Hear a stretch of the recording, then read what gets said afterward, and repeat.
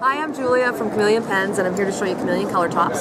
So um, if you're familiar with Chameleon pens, they allow you to adjust the color tone of the ink, so we can go from light to dark, um, and you can get multiple color tones from one pen. What we've come out with now are color tops.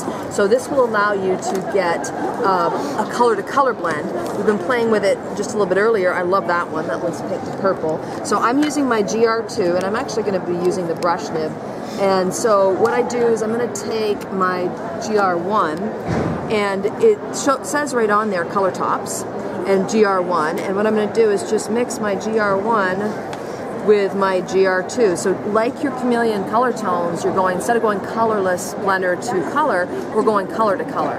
And the longer you let it sit, the bigger the blend. All the same principles that you're working with, but now I'm able to go from that lighter color and then as I start to color, you go into the darker color. So this is a subtle blend that I did because I, I basically did a GR2 to a GR4, but you start to see the darker color coming in. Oh yeah. And the pen literally does the blending for you. I mean, you don't, you can slow down a little bit if it's not transitioning fast enough and hang there to get the darker, but you get right back down to that and that's, that's a seamless blend. And so you can go from light to dark. Um, you can go from dark to light. You can go, uh, you know, similar colors. You can go completely opposite colors. That was pink and green.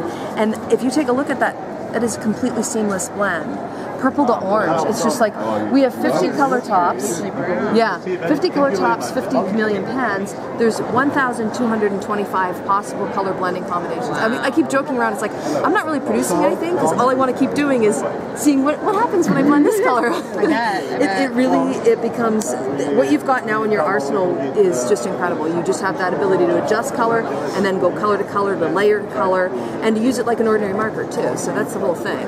They are refillable just like your chameleon pens are refillable. Um, the nibs are replaceable. And what we did was we put this little cap on here. Um, it's the same as your chameleon pen. So this is what keeps your, your um, mixing chamber airtight. So when I remove this to say, okay, I'm going to now use a color top, it's airtight because I left my thing. You want your nib obviously exposed. And so then I take this cap off, and this is a bullet nib that I'm doing this with. These work really well with the bullet nibs as well. So if you want to get into the smaller areas maybe, you're going to use your bullet nib. And here I'm just sort of using a circular motion as I'm going along. I don't remember because I forget the... I only have yoga So you can get into the small areas as well as the bigger. And it's still beautiful and seamless.